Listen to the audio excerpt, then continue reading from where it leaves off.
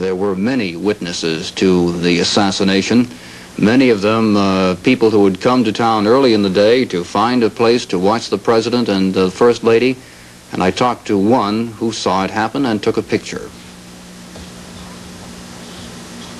Picture. And I took the picture. It so happened my picture, I, when I took it, was at the same instant that the president was hit. And that does show in my picture. What does the picture look like? Uh, it shows the president, he uh, slumped. Jackie Kennedy was leaning towards him to see. I guess it all happened so suddenly, I don't think anyone realized, you know, what had happened. Did you realize what had happened when you heard the shots? No, I didn't. Uh, there was, oh, three or four real close together. And it was, uh, must have been the first one that, that uh, shot him because that's when I, that was the time I took the picture. And during that time, after I took the picture, and the, the shots were still being fired, I decided I'd better get on the ground. Did people lie down on the ground?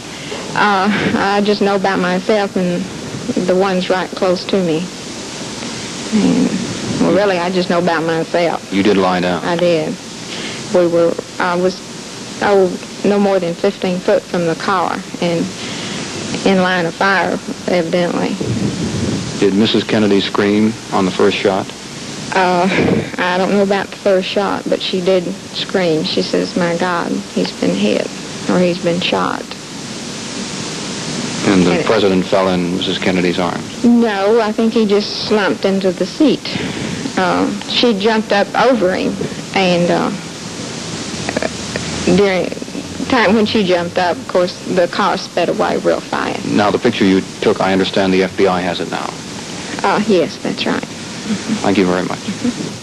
In addition, there were some 8 millimeter color motion pictures taken at the time, and these also are in the hands of the FBI and the Secret Service.